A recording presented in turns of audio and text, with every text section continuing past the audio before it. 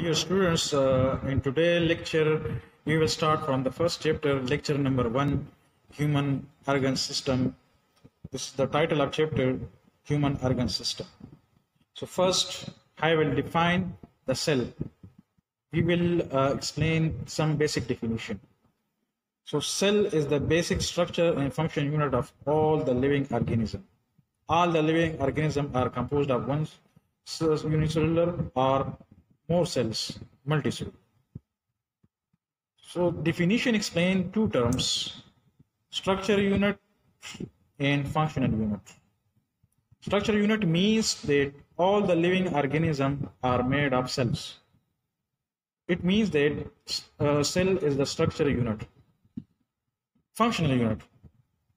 All the living organism perform function at cellular level, so therefore cell is the functional unit of all the living organism. We have two types of living organism. One is unicellular organism. Those organisms containing only one cell are called unicellular organism. And those organisms containing uh, more than one cell are called multicellular organism. Now, example of organism amoeba Euglena paramecium unicellular organism, they consist of only one or single cell. While organism containing many cells are called multicellular organism.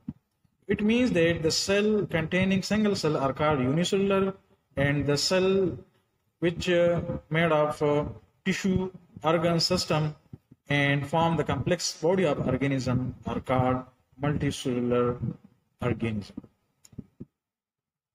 Now another important term, tissue. Cell units to make tissue. A tissue can be defined as group of cells which perform specific function.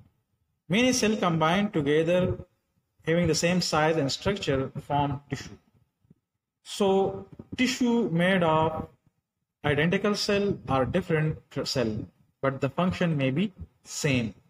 For example, in plants, mesophyll tissue perform photosynthesis. Epidermal tissue provide protection. Meristematic tissue is responsible for growth. So mesophyll cell containing mesophyll uh, chloroplast and, and made mesophyll tissue. So these cells perform photosynthesis. So photosynthesis is the common function. Similarly, protection for epidermal cells is the common function. And meristematic tissue responsible for growth so the cell in meristematic tissue containing the same function growth. Some example of animal tissue are muscular tissue undergo contraction and relaxation and provide movement of body parts or whole. So the tissue in animals, for example, the skeletal muscle tissue responsible for the relaxation and uh, muscle and uh, responsible for the movement of the body parts. For example, bones. The muscle occupying are present above the bones responsible for the movement of legs and arms. Similarly, nervous tissue form the nervous system. So the nervous tissue function uh, coordination we will discuss in detail later in this chapter. Organ. What are the organ? So different uh, tissue combine to make an organ. Organ is structure made of different tissue working together for a specific function. So organ is the large unit of biological classification or biological organization that many tissue combined together form organ. In plants, example of organs are root, stem, leaf, and flower are different organs of the body. Now, some example of animal organs are brain, heart, kidney, lungs, eye, and stomach. These are the example of organs in animals. Now, organ system, many organs work together for a specific purpose, make up an organ system. In plant, vascular system consists of xylem and phloem. Similarly, in animals, different uh, different system working together nervous system, excretory system, circulatory system, respiratory system, reproductive system, digestive system, muscular system, skeletal system, immunity system. Now I will explain the sketch that how the living organism made of. Cell combine together tissue, organs combine together to form organ, organ combines together organ system, and many organ system combine together in the whole body of organism. So student, this is uh, lecture one, part one. This is the part one of lecture one and uh, in next lecture, I will uh, uh, explain and I will upload the part two of lecture one. So the, in the first video, this is the part one of lecture one. And in the second video, I will explain uh, lecture two and uh, similarly the second part of lecture one. Nervous system. I explain the nervous system, definition of the nervous system, an organ system in the human body which carry message from one part of the body to another and make feel and react to things and situation is called nervous system. Definition means that the system responsible for carry messages. Carry messages means uh, sensation. From one part of the body, sensation means feelings. That carry message of feelings changes in the environment.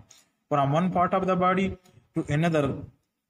One part of the body means that uh, receptors and another part means brain. And make feel. We analyze. We feel and react to the things and situation is called nervous system. So this system is responsible for carrying sensation from one part of the body to another part and then we feel and then react to that changes so such system is called nervous system. Explanation. The human nervous system consists of neuron and tissue that regulate stimuli and responses.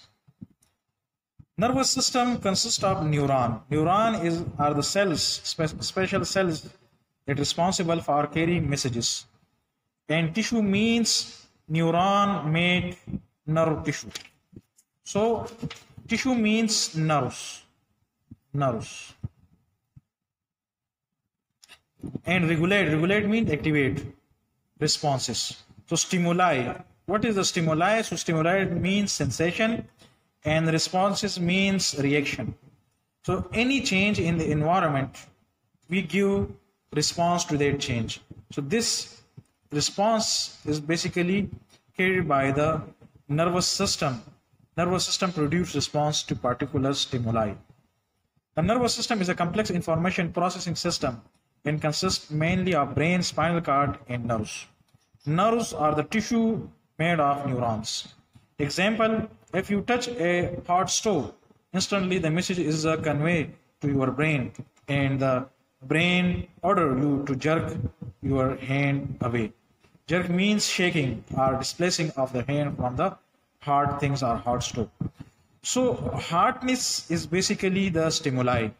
This stimuli is carried by the neuron to brain and then the brain order.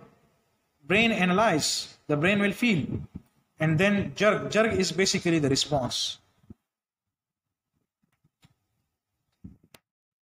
Example number two. Similarly, when an insect sit on your arm, your brain receive the information so the touching of the insect with your arm is basically the stimuli and send back to the to message for you to, to jerk your hand or to flip. So sting means that cutting, stinging, biting of insect.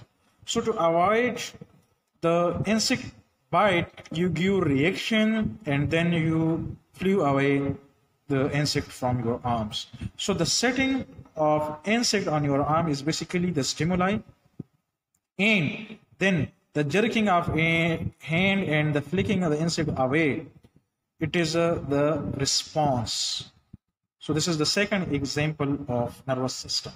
Major parts in the nervous system central nervous system and the peripheral nervous system these two are the major parts of the nervous system. So now the central nervous system. The central nervous system acts as a controlling center of the whole nervous system. CNS means central nervous system and it consists of two main parts, brain and spinal cord. Brain. Brain is the coordinating center in the body in animals and human being. All life activities are under the control of brain. Location. Where brain is located the human brain is basically enclosed in a bony cage called the cranium or brain box. So the special cavity enclosing the brain is called cranium. Protection. Protection skull. Protecting organs are first the skull. Skull protect the brain Meninges, meninges are basically the layer responsible for protection of the brain meninges. So beneath the cranium or skull, the brain is uh, also protected by a tough membrane called the meninges.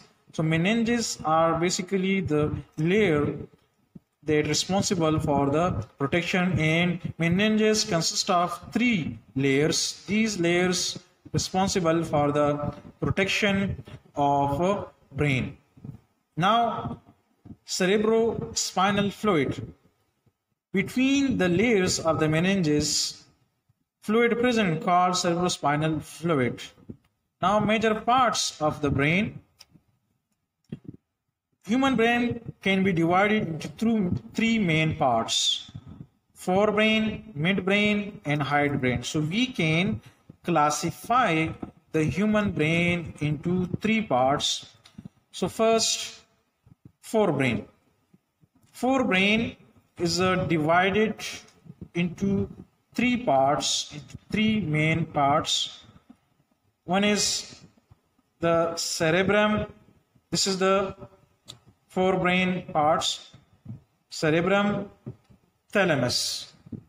So hypothalamus. So dear students, uh, this is a part one video lecture of lecture number one. So if you have any questions, so comment me, I will give answer. Thank you.